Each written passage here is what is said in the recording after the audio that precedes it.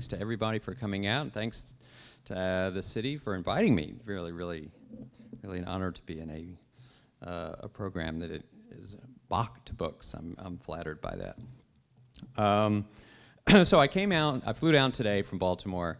Uh, the plane is full of Ravens fans already coming down for the game Sunday against the Cowboys, and there's Cowboy fans on the plane, and the whole thing was just a riot.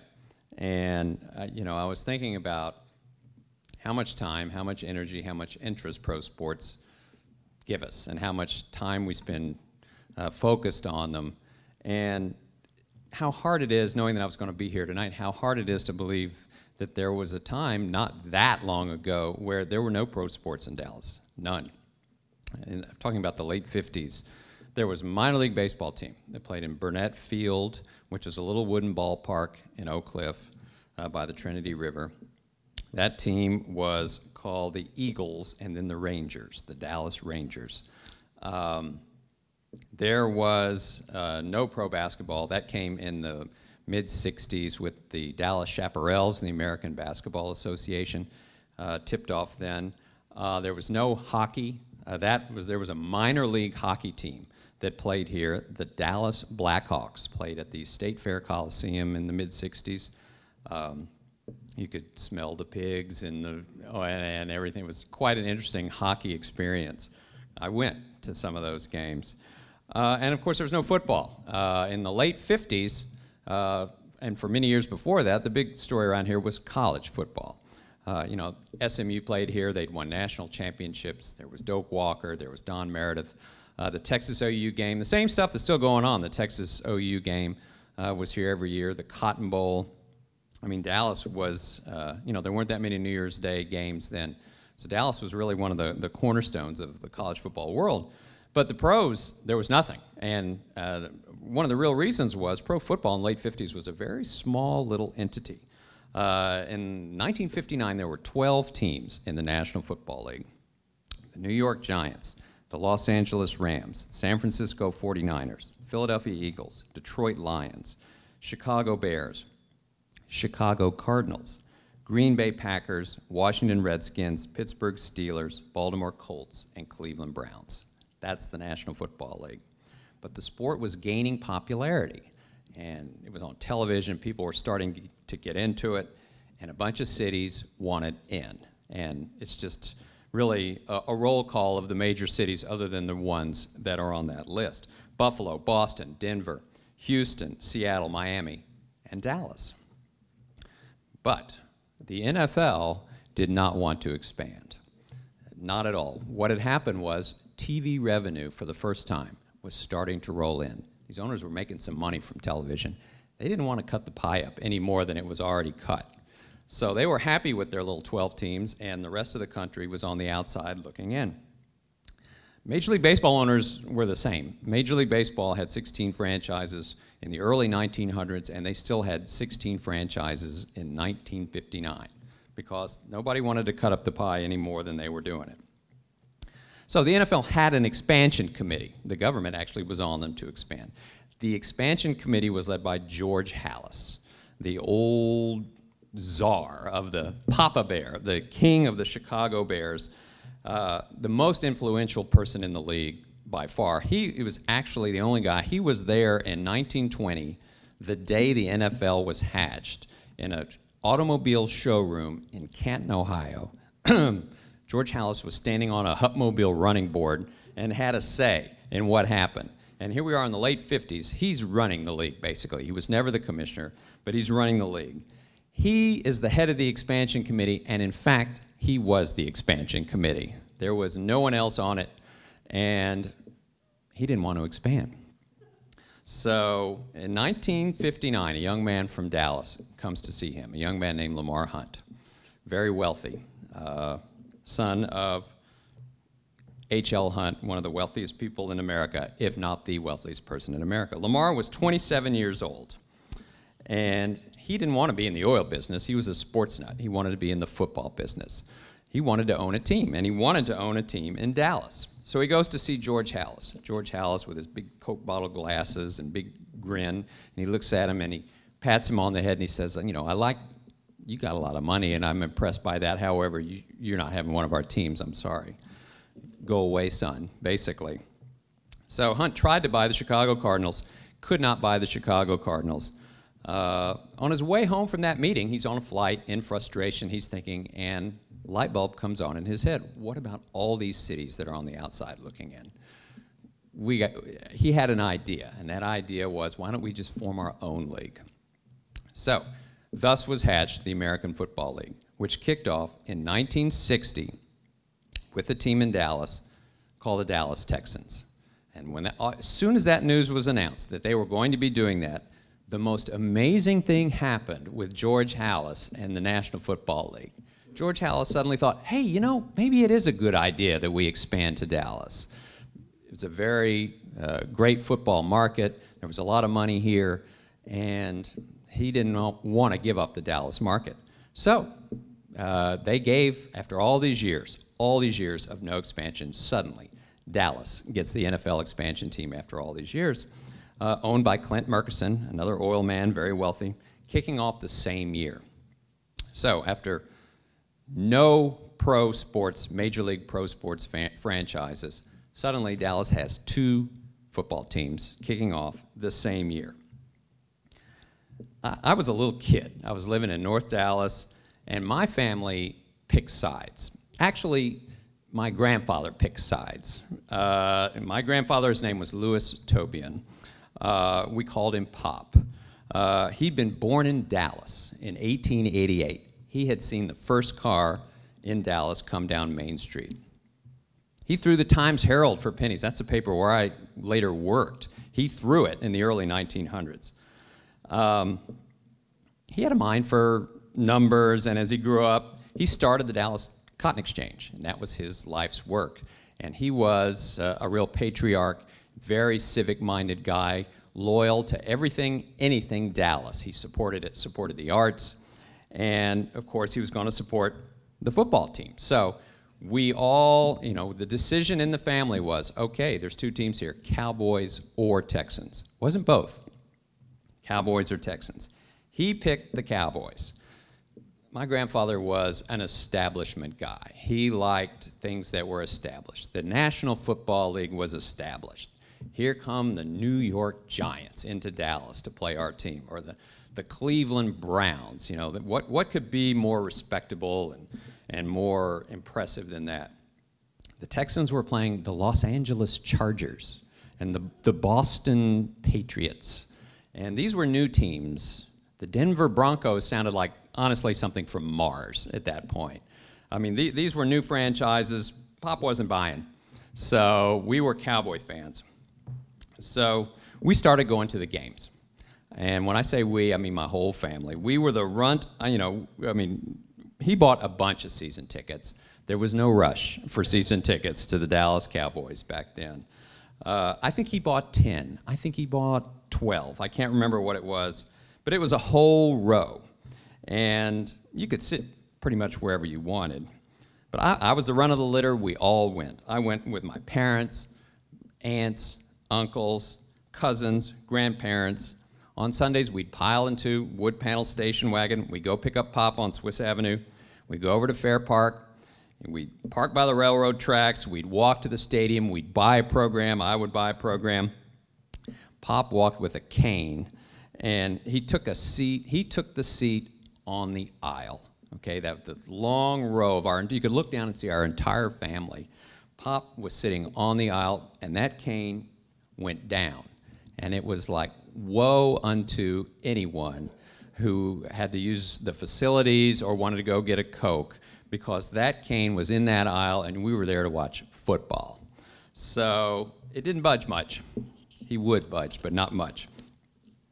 Um, the Cowboys were terrible. They were just awful. They were an expansion team, and they practiced at Burnett Field, where the baseball team had practiced, and there was rats running in the locker room. There was no hot water. If it rained, they couldn't practice. The grass, it was on the on the uh, Trinity River Plain, and if it rained, the outfield flooded, and so they couldn't have practice. So they would go driving around in a bus to find them. This is the Dallas Cowboys.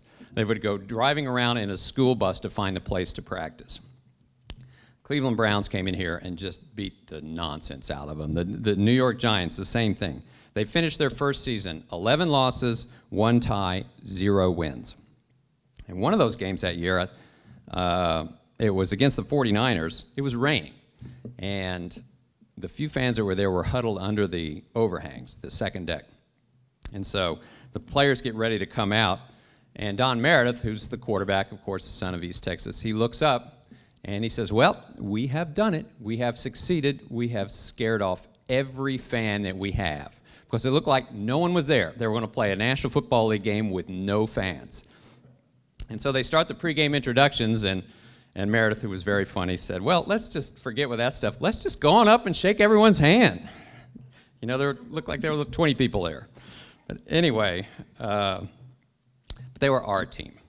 And to me as a kid, it was incredibly exciting.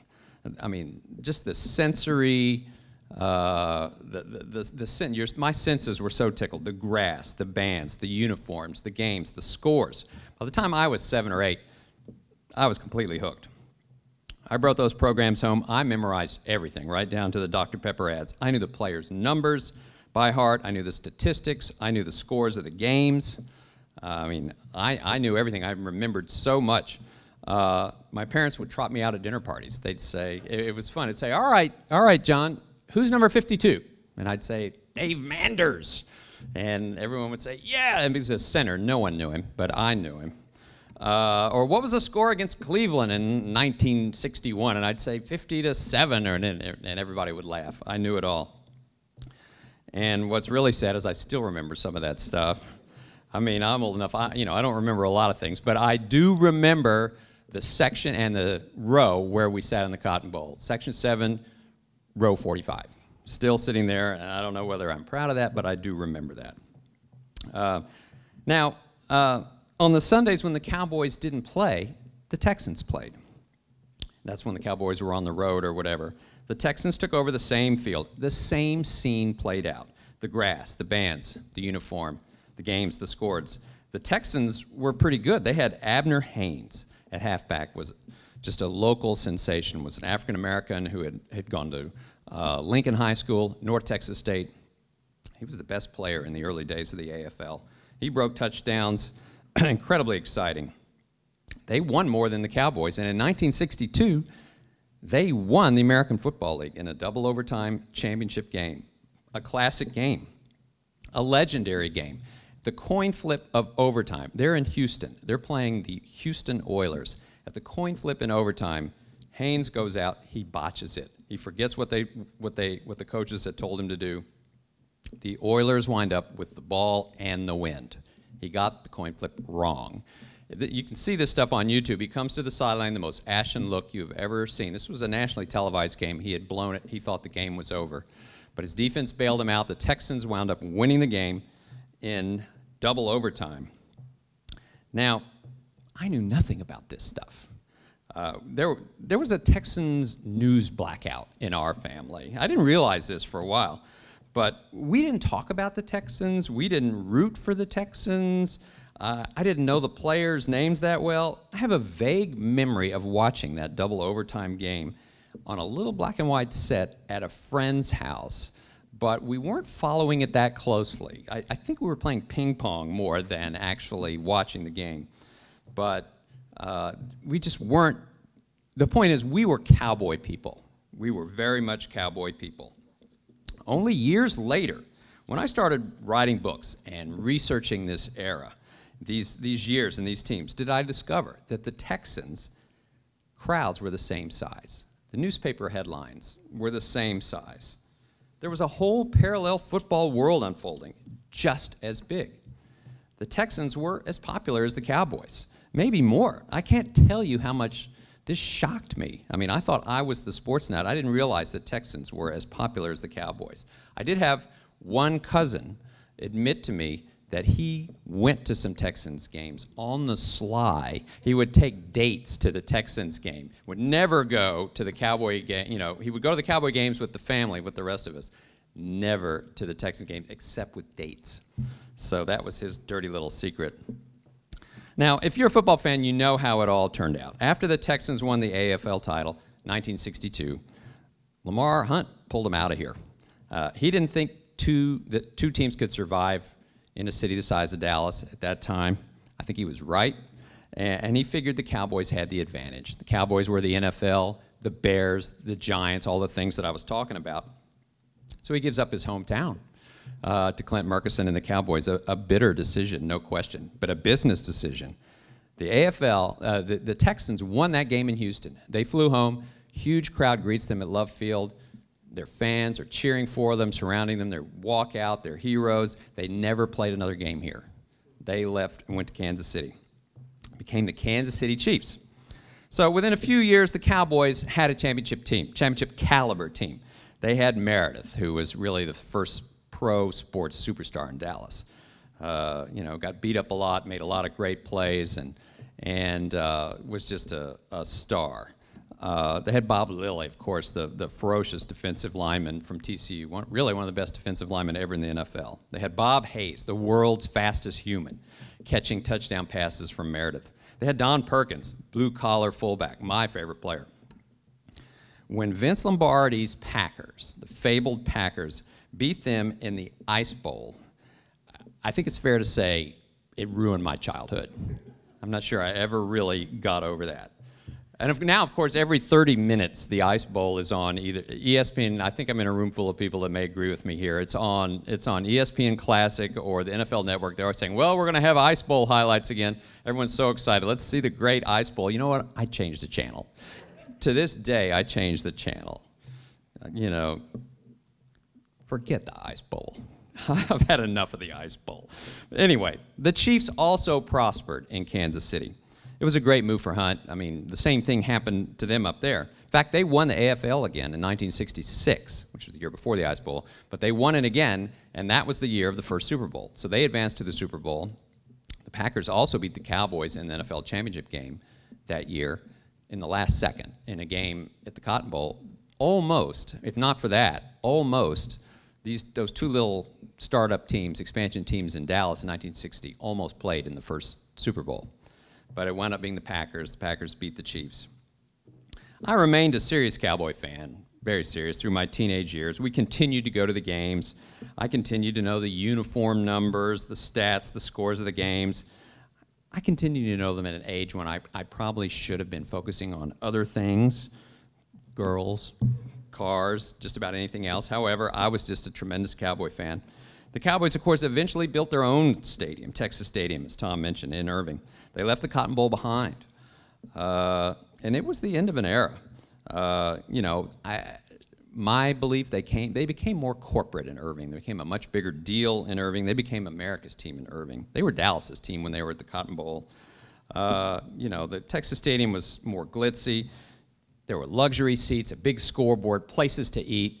You know, if if you went to those games at the Cotton Bowl, you know, all there was was well, first off, there were splinters on your rear end from the from the benches and not a whole lot else. Uh, but it was on a human scale, that's for sure. And the, the connection between the city and the players was real and was uh, of, a, of a kind that I don't think exists anymore. But it was quite intense. When I, when I went off to college, I wrote for the school paper. I came back, and as Tom said, I went to work at the Dallas Times Herald. I was 22 years old working with, I'd grown up reading all these guys Blackie Sherrod, Frank Luksa, uh, Bob, Chicken Fry Galt, covered the Southwest Conference for years and years. It's another book I probably should write. Skip Bayless, I always say this. Skip Bayless came along in the 80s, and the old guys, they wouldn't talk to him.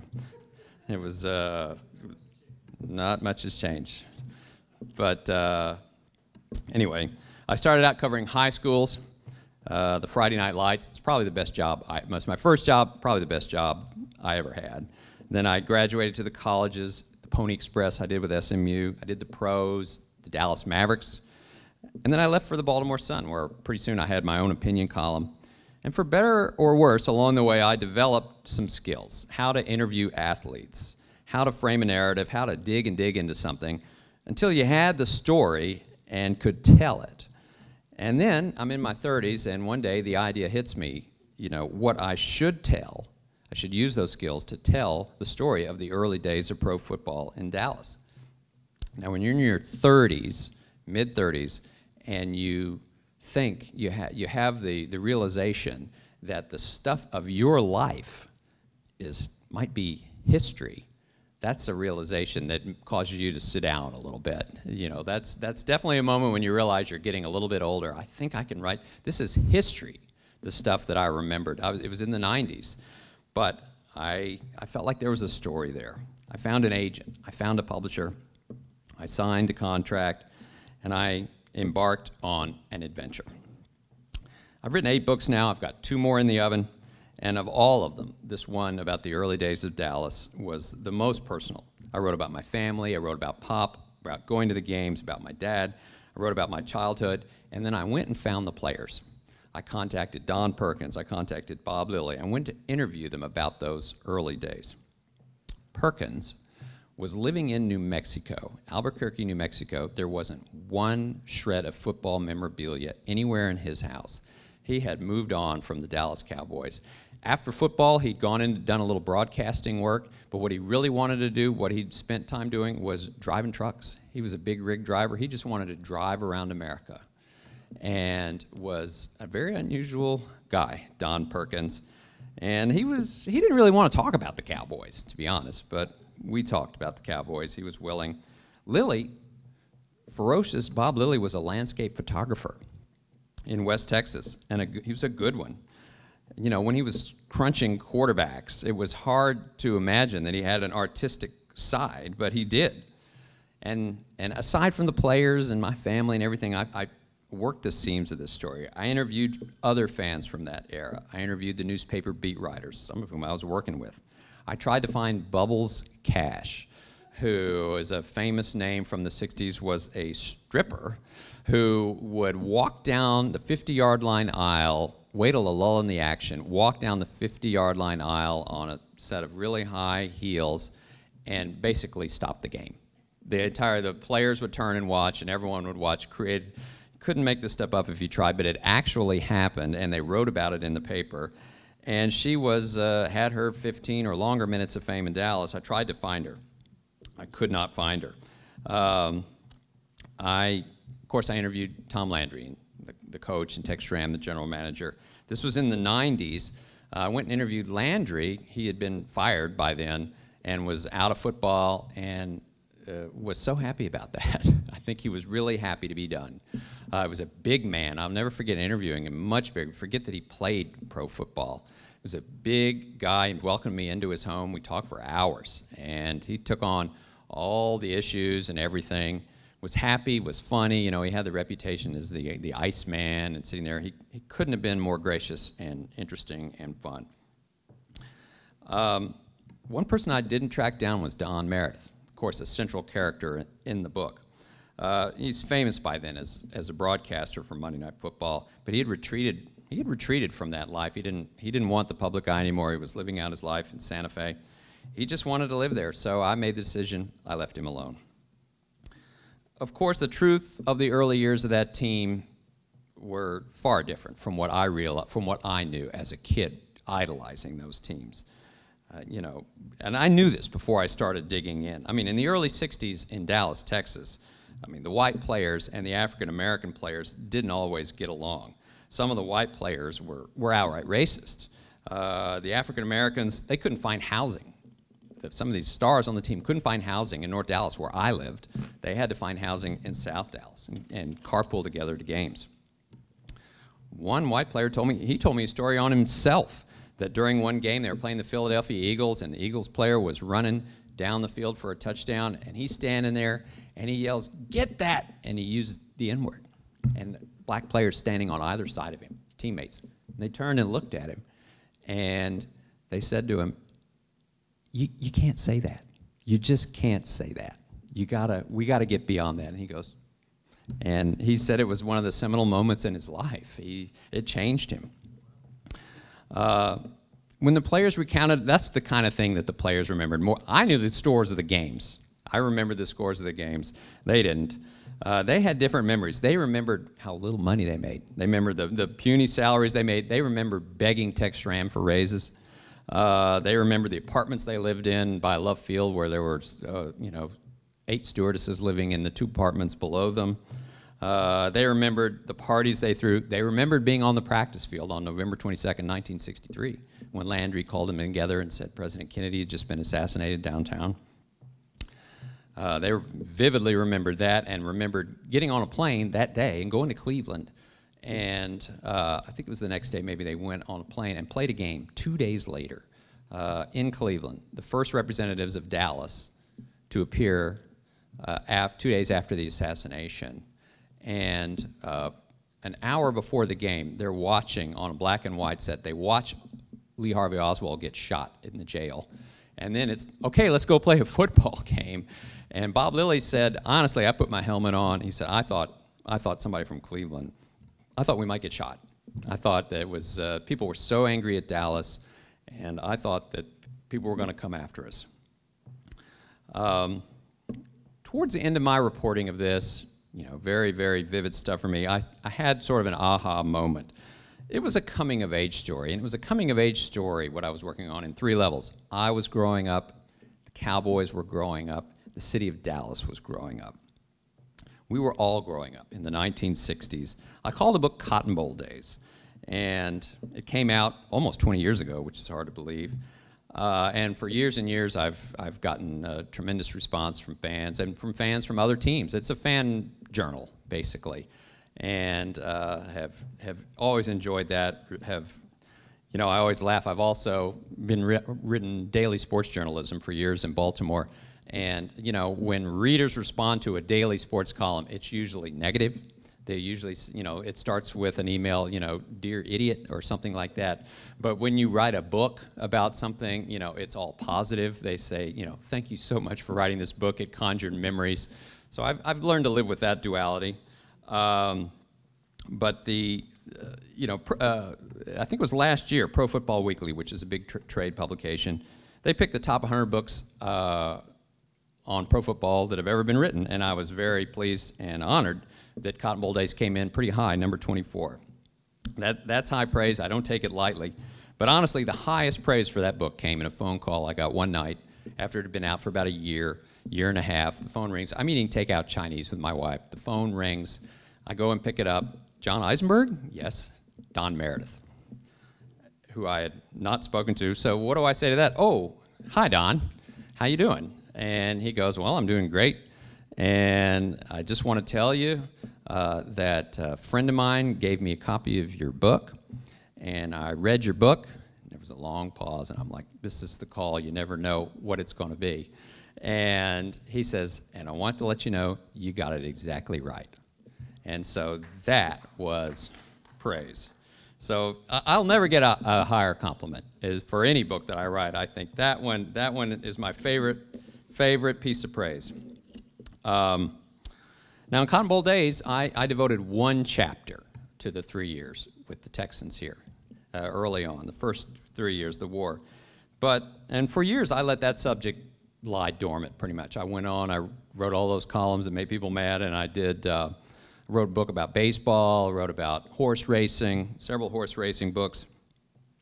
And then I'm, I'm looking for a new subject, and I had another one of those aha moments uh, doing a little bit of pro a little study into some history, and I realized sort of I underplayed that war uh, between the Cowboys and the Texans because of what it meant to pro football. I mean, the, the, the AFL, which wound up merging with the NFL.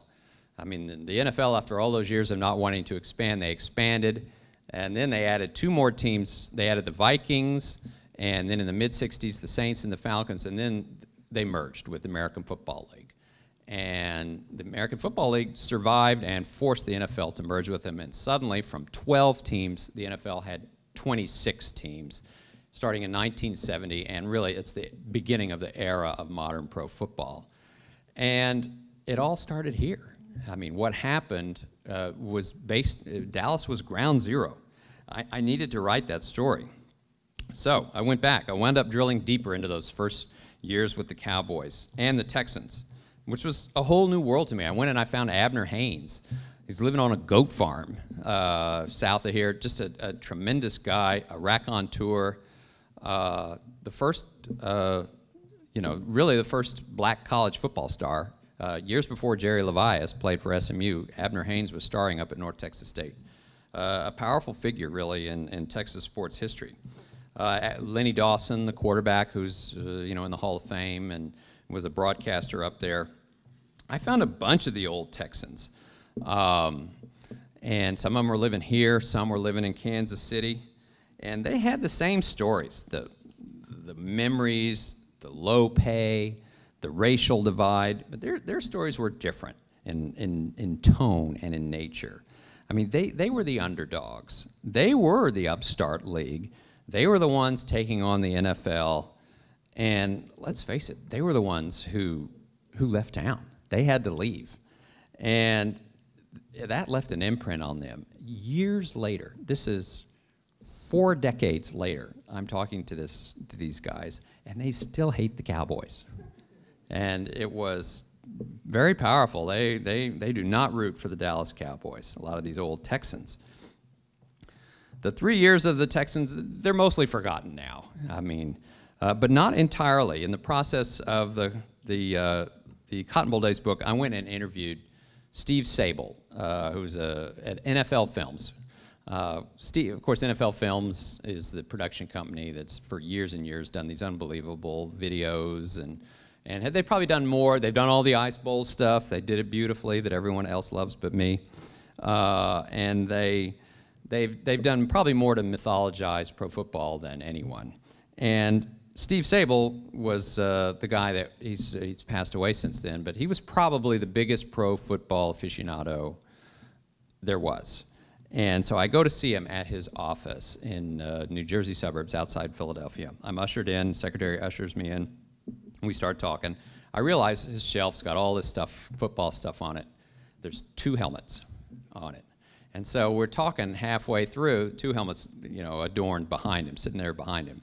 I said, what, what is the significance of those two helmets, Steve? He goes, he turns and he looks at him and he goes, those are the two helmets that I've picked out that I've decided will inspire me to tell football stories day after day. So, what do you think those two helmets were? One was the Cleveland Browns, which is uh, just an elegant, simple colors and a stripe down the middle, just a, the, a classic old school helmet. The other one, it's right there in front of me, the Dallas Texans. So the, the really the biggest pro football aficionado, he remembered the Dallas Texans. He, I said, well, what's so great about it? He says, he says, it's a work of art. Look at it. You've got the state of Texas, you've got the star on it. He said, they, they don't do that anymore. And, uh, you know, the, the creativity, he was so inspired by it. He said, that's really my favorite helmet, the Dallas Texans helmet. This is the guy that was running NFL Films. So, you know, that was, uh, that, that, that also was one of those moments that made me think, you know, I think I probably need to write about this. This is, this is something.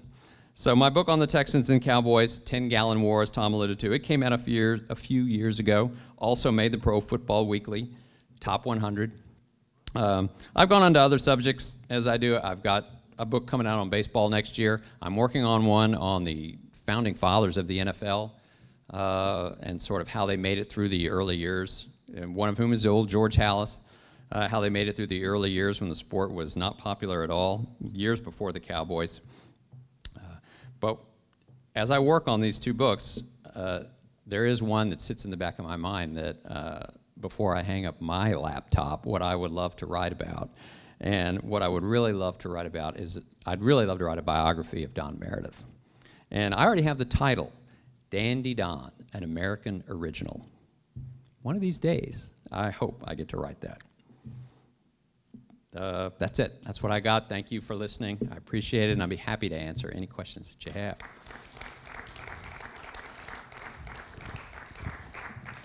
I'll start at the front, and then we'll work backwards. Okay. And uh, this is a library. Say what you want. You can even talk about other football teams. The worst he can say is he won't answer the question. okay. Questions, comments, protests. You have one. I Um, actually, I do. Um, had the Cowboys been in the AFL, I know this is a big what if question, but do you think that the minds behind, uh, you know, Clint Murchison, Tex Schramm, would those guys have been able to be, uh, we got that buzz back, if those guys would have been able to be successful had they been in the AFL. That, that's, a, that's a really good question uh, because they, they certainly approached it differently in the AFL. I mean, the AFL, those guys were, wheel, I mean, they were gambling like crazy. And Murchison, he basically just relied on the fact that the NFL, the Cowboys were in an established league. So that, that's a question that's impossible to answer. I mean, I like to think they were really good. I mean, Murchison was a great owner. He gave Landry, uh, Landry was, of course, a losing coach in his first years, and the fans were on him. If you go back and look at the newspaper clips, they were ready to fire him. And he had a terrible career record, and at the end of, I think, 1964, terrible record. And he gave him, Landry, a 10 year contract. He said, This is what I think about all these fans who are upset. Th- this is our coach, and we're going to win. So, great owner, great Tex Schramm, of course, a great general manager. I like to think they probably would have succeeded anywhere. I'm almost, I'm almost sure of it. And just one more question. Uh, being a writer from Baltimore, who do you have in the game this weekend? Who do I have winning? Yes, sir. Oh boy, you put me on the spot there. uh, I, mean, I think I may pick an upset. uh, I don't know. I, listen, I go to every Ravens game, and uh, the Cowboys have been playing a lot better football this year. A lot better football. The only the only reason I say that is I think they've played so great. Uh, it's it's hard to keep something like that going. It's great what they have going. I'll probably be wrong. Well, let's hope you're wrong. yeah. Those are my questions. Yes, sir. And now it's on film, so we'll know whether. Hey, how's it going? Good. Um, so, was the NFL aware you were writing 10 Gallon War? And if so, did they support you by offering any research material? They didn't know I was writing it, and they didn't offer me any support. Uh, it was strictly my my thing.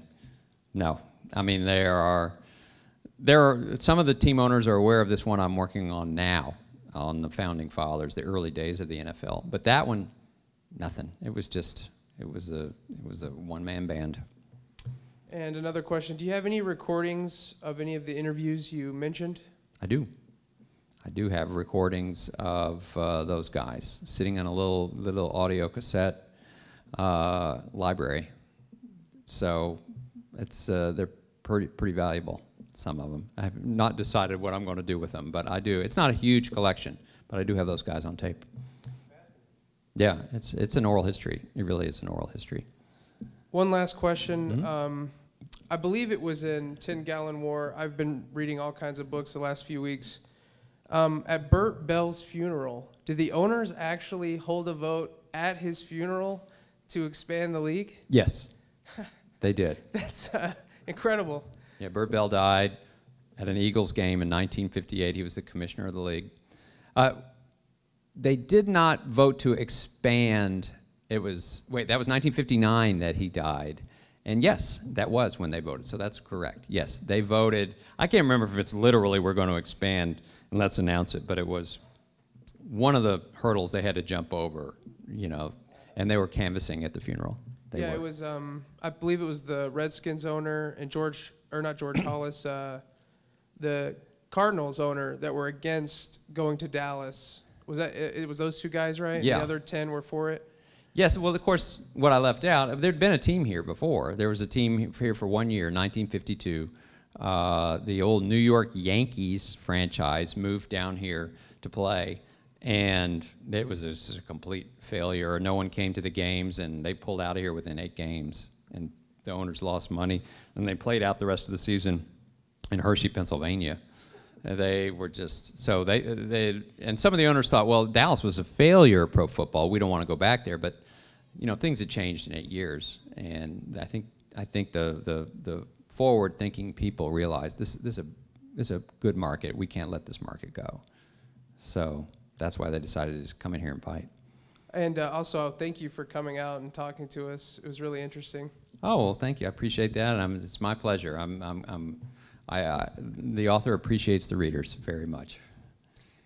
John, when the Cowboys moved to Irving in 1970, it was a big change in terms of ticket prices and things of that sort. Is that correct? And did, Yes. If did did the games become more corporate, or can you talk about a change of fan base? Did it kind of leave out the blue collar fan, or what kinds of things changed fan base wise, and then I guess in the culture of the team when they moved? Well, of course, things changed. Uh, I mean, I think uh, you, you, can start with this. When they moved into Texas Stadium, it was uh, uh the, the way to pay for the stadium. Part of it was those were the first personal seat licenses. You had to basically stand in line when the tickets went on sale for Texas Stadium. My grandfather stood in line all night and bought eight season tickets, but he had to pay a bond to for the right to own those tickets to, to, to, to take those tickets out every year, which of course is now the custom throughout pro sports. Certainly through the NFL. You have a personal seat license. You have to pay that when you're starting. To you own you own the right the, the right to own those tickets. That was so right then and there. I remember this again. The things I remember. He paid two hundred fifty dollars per ticket for a personal seat license. Now right there, you're realizing it's becoming more corporate. It's becoming a lot bigger business than it was at the Cotton Bowl. There were no bonds to sit on a wooden bench. So, uh, but they, but so yes, it did. And then, and you know, as for what happened, then they had luxury boxes. They had suites at Texas Stadium. Certainly never had that at the Cotton Bowl, and that certainly attracted a new business clientele. You could sit in a suite and eat lunch and drink wine and watch the games. And, uh, you know, I think it just slowly but surely evolved into sort of a place to be a more expensive, pricier crowd and different habits, different game going habits. And so that's that's sort of where it all started. So, you know, that's and it's just continued to evolve. That's for sure. I have just one. when Don Meredith called you, did he happen to ask you why you left him out? No, he did not. Okay. I, I've often thought about that, but uh, you know, I wonder if he had wished that I'd called him. You know, Yeah. I, I did think about that. Yeah, because you did it out of respect, but I did. he may not have understood that. Yeah, no, no, I, I don't. You know, there'd been a lot. He was a pretty big celebrity at that point, and there was a lot of stuff that had been written about him. And I don't know whether he appreciated the distance or not. But he actually, he, he was married. His his last wife, the, the wife that he was living last years of his life before he died, was from Baltimore. And so actually we had a couple of common acquaintances.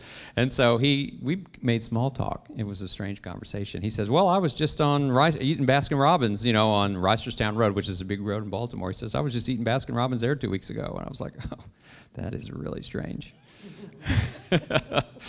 but uh, he couldn't have been nicer, you know. And we talked like we were going to talk again in a in a week. But uh, anyway, it was a cool call. All right, thank you. Two questions, John. Uh, well, first of all, a comment.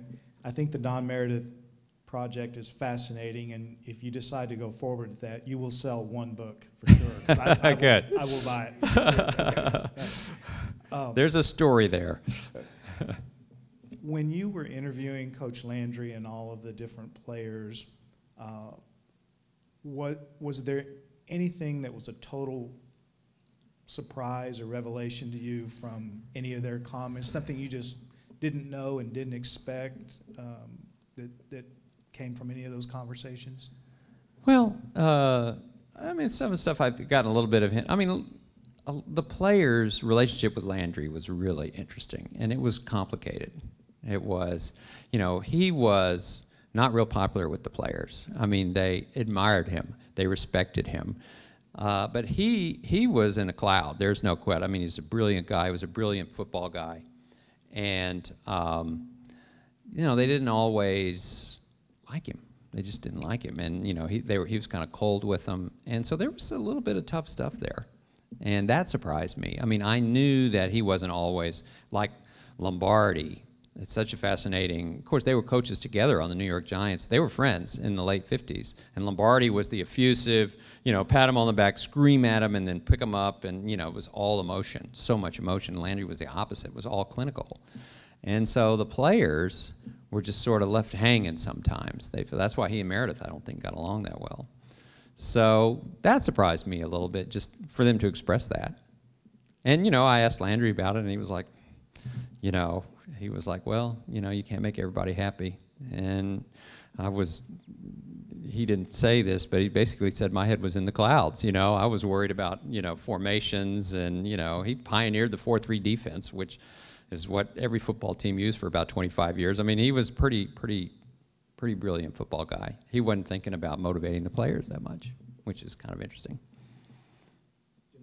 S- Staying on the Don Meredith subject, obviously Don's no longer with us. What, what would, are the biggest challenges to you to do that kind of project now, obviously with him no longer here? Or is that even a fair question? Oh, sure. No, the, the biggest challenge would be getting cooperation from uh, his family.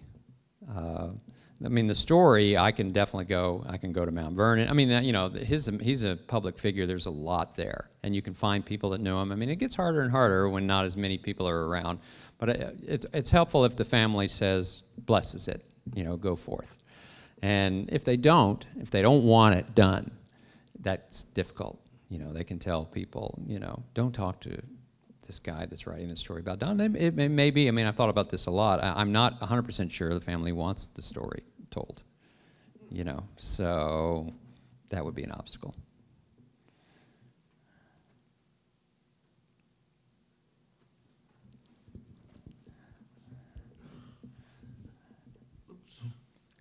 You've already touched on it, but uh, I think most people don't realize about the 1952 franchise.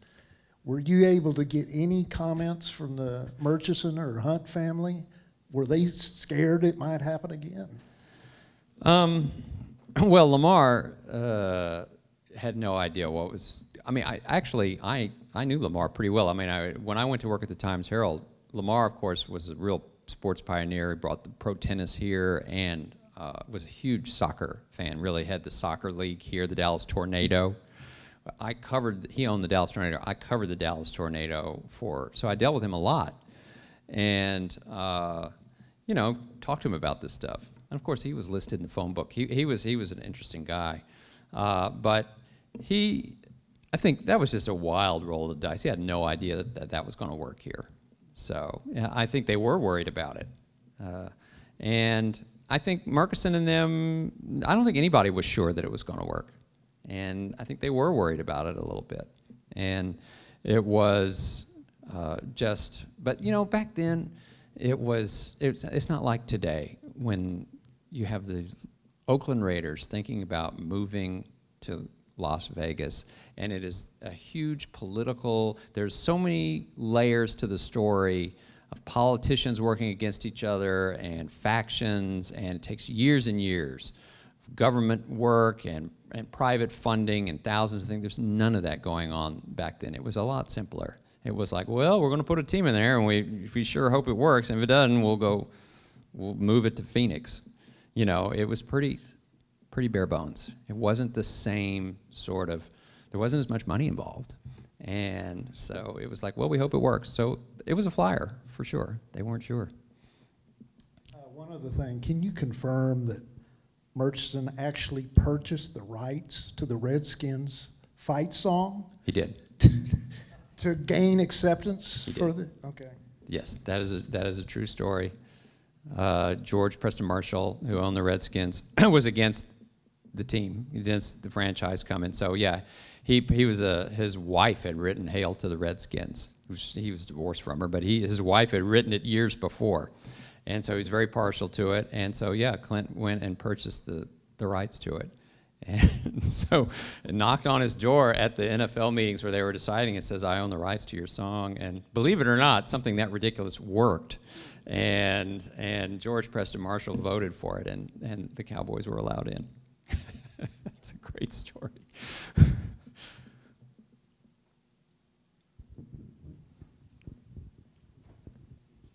Okay.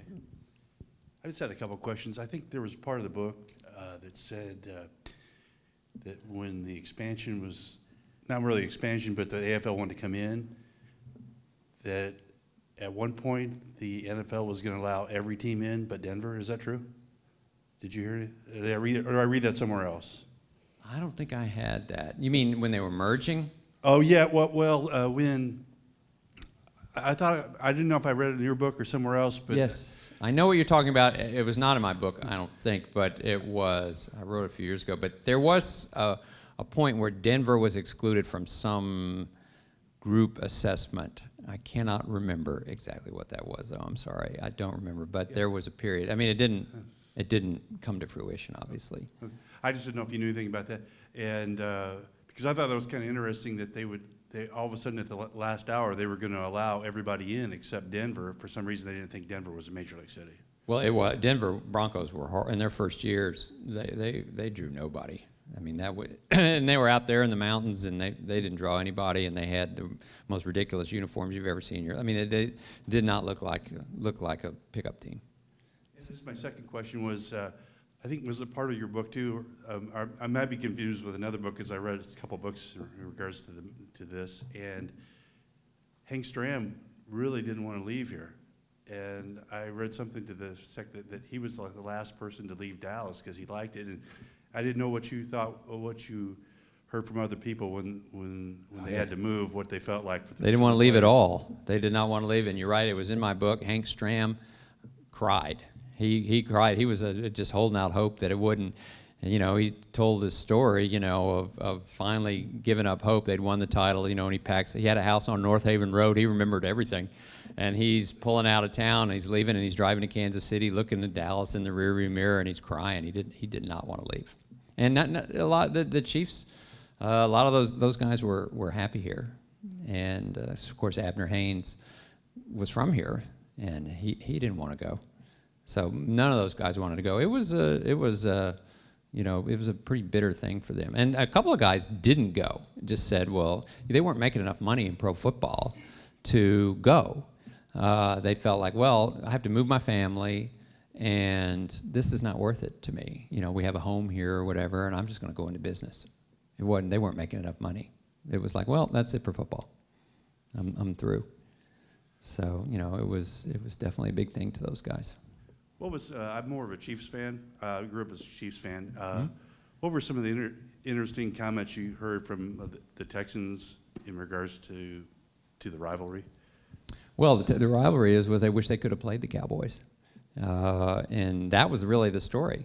Was that of course the teams never met on the on the field, and they felt like they would have beaten the Cowboys, and I, I uh, uh, and in my interview with Landry, he of course this was a huge thing in the press for years and of course nobody ever the cowboys always said well we don't you know we're not we don't it's the afl you know we wouldn't have any problem with that. But all these years later landry said you know they probably would have beaten us. Certainly in 1960 the cowboys were really bad and the chiefs were pretty good or the texans were pretty good. So they, they, they felt like well we left we lost but you know we had a pretty good team and we probably would have beaten the cowboys I think they all wish they could have had a crack at the Cowboys. You know, if you, you look at a couple of different plays um, in the in the Green Bay Dallas game, well, they had a false start they, at, at the one yard line. They would have scored. They could have bet the Chiefs in the first Super Bowl. Well, there's a story there. Uh, again, one of these things that I remember, and I wrote a whole chapter about him because a, a real diehard Cowboy fan from the 1960s remembers who that was. Who remembers who moved at the one yard line? Jim Boeke was an offensive lineman, was a tackle, first and goal at the one yard line, or maybe it was second and goal. He moves before the snap. They're on the one yard line. They're getting ready to, to tie this game up and go to overtime. They have the Packers on the run. He moves before the snap, a five yard penalty, and they ultimately don't give in, don't get in, and they lose the game. so Boki, uh, consigned to, you know, is just an ignominious uh, character in cowboy history. And so years, all these years later, I, I found him and I called him, and uh, he started laughing. He goes, "Well, I know where you're calling." and but he was a great guy. He was a, just a great guy. He had uh, gone to California and become a had done some acting had been a school teacher. He was married. He had kids. He had grandkids. He was a great guy, you know. And I said to him, "I am so sorry to be calling to be calling you about this, you know, thing." And he goes, "You know, about every five years, I get a call from somebody." And I said, "Well, this is a book, and it's gonna it's gonna be on the shelf for a while." And he says, "That's all right." So, but you know, Jim Boeke, you know, a, a true diehard Cowboy fan from 1966 has nightmares about Jim Boeke.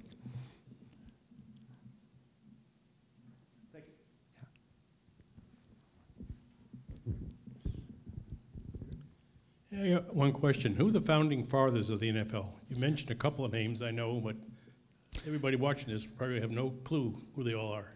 Well, it's a little bit of a misnomer. Uh, what I'm writing about is five guys, the five guys who really shepherded the league through the 20s, 30s, and 40s when it was close to a failing enterprise uh, for a variety of reasons the depression, uh, you know, the stock market, the war. Nobody cared about pro football, among other things, you know. And the only founding father of the five, the one who was there in the beginning, as I mentioned, was George Halas. Uh, the other ones that I'm, I'm writing about, uh, Tim Mara, who's the uh, started the New York Giants in 1925. He was a bookie. He was a bookmaker. He started the New York Giants. He bought the Giants for $500 in 1925. Um, George Preston Marshall, who started the Redskins. They were the Boston Redskins at first.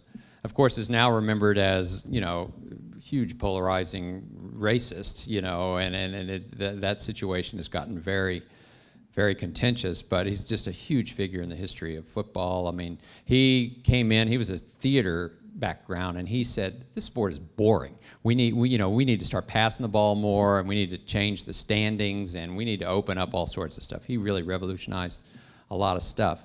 So it's uh, Halas, Mara, Marshall, and the others are Bert Bell, uh, who started the Philadelphia Eagles and ultimately became commissioner of the NFL, and Art Rooney, who uh, started the Steelers in 1933, and uh, he was just a horse player.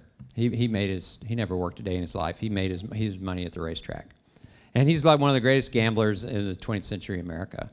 He and two days and he'd already it's a misnomer. People think oh he made the money to buy the Steelers at Saratoga, which is not entirely true. He had already started the Steelers, and in 1937, and this was all written about. It's all in the record. He made a, a life's fortune in two days at the racetrack. He won 10, 10 bets in a row or whatever it was and walked out with enough money to live the rest of his life.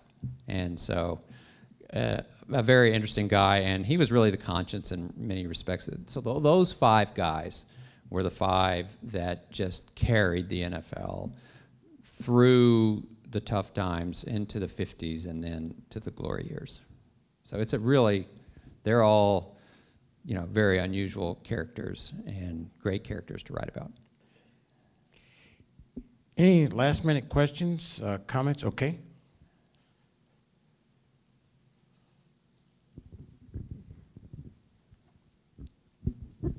Yeah, thanks for coming. A couple of questions. Uh, What did your family think about when the Cowboys changed uniforms, like this white helmet to the silver helmet? I like the white one better, but uh, what, what did your family think about when they did the uniform change? I think it was a thumbs up. Okay. I think I think we thought it was pretty cool. Yeah. The cowboy uniform change forever. Uh, I mean, it was Tex Schramm that did it, and his decision was every team in the history of pro football wore their dark jerseys at home.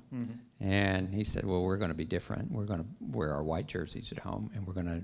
They found this color that they liked, and I don't know. I, I think everybody was okay with it. Okay. I know. I was. And on I the thought they were pretty cool. topic, uh, he was my favorite player when I was a kid.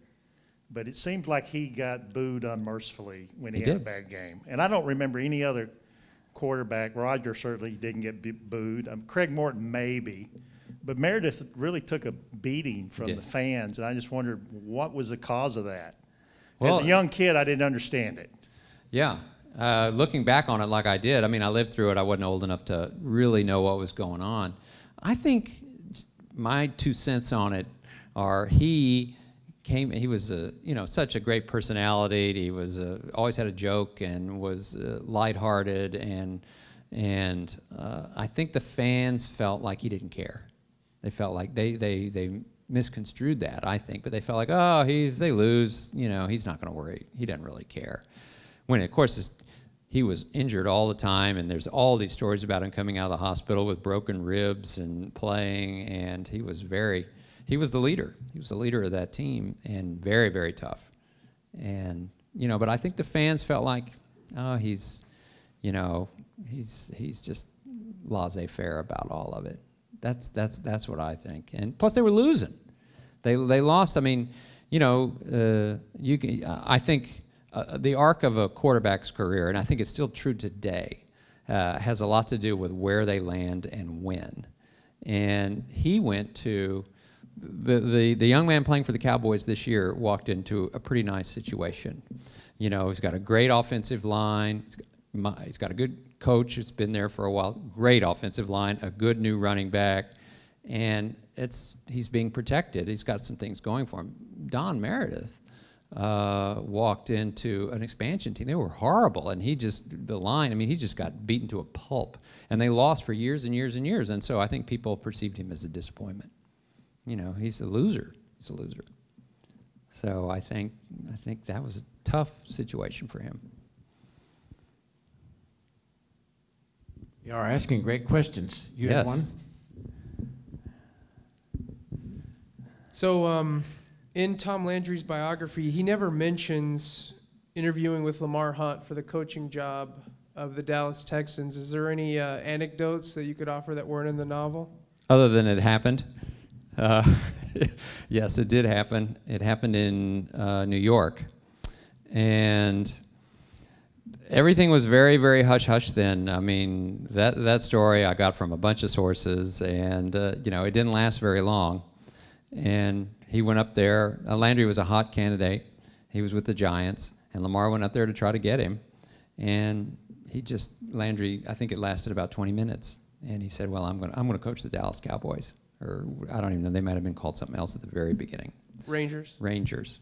So, um, but no, I mean that. So that did happen, and uh, uh, you know there was a lot of that stuff going on with in in the 50, 1959 and 1960 when the new league came in. There were people hiding in bathrooms so they you know they wouldn't see them interviewing with other teams, and there was there was a lot of shenanigans going on. Thank you. Did you interview either Eddie LeBaron or Bob Hayes uh, or Roger Staubach? Well, Staubach. Well, he was later, like 69, wasn't he? Yes, Staubach. I, I didn't interview. I don't think I, I didn't interview Staubach. Uh, I mean, actually, my career at the Herald overlapped. I mean, Staubach was still playing, so I actually dealt with him a little bit as a player in my first years at the Times Herald. But uh, I didn't. And Bob Hayes, I did not interview.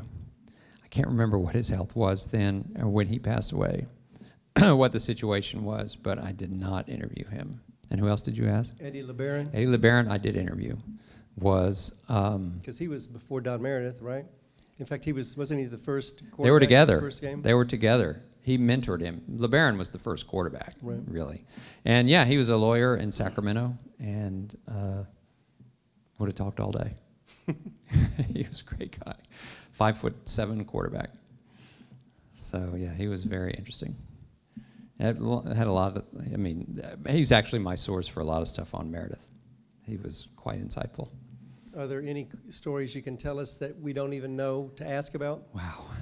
Uh, That we might have to turn the cameras off? Or? yeah, I can't. it's a library, right? It's- Yeah, yeah.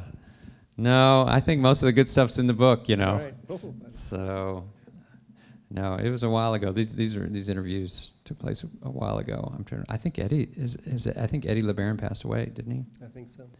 Not that long ago, though. I think he lived a long time. He was in. He reason he came to the Cowboys was he graduated from law school. He was playing for the Redskins, and he graduated. He was going to law school at GW, I think, while playing for the Redskins, and they offered him. He was a free. I can't remember the details exactly, but Murchison said, "Well, you can come down here and work at the family law firm." and and I don't know if it exactly worked out that way, but there, there was his legal career had something to do with him coming to Dallas. For them, they traded for him.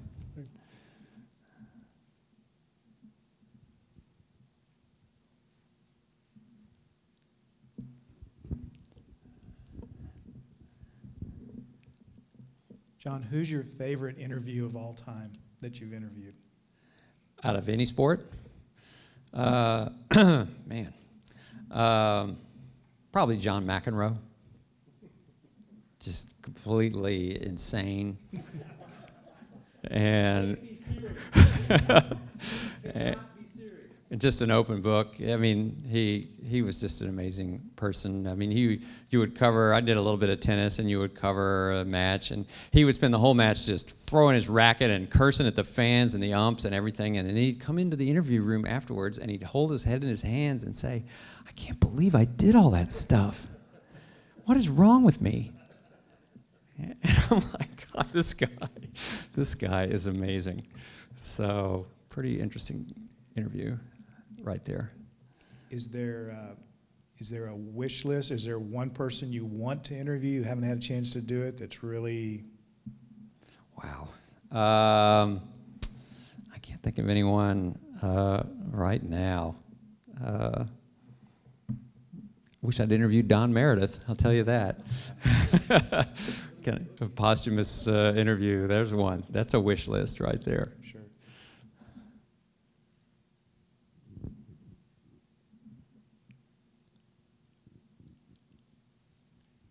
Any last questions? I'm going to ask the last question. To make a comment. How many of you did like my father and I did? Sit in the end zone, pay two two dollars for a ticket, and at the end of the first quarter, go sit wherever you wanted to. Ah, three of us. okay, four of us.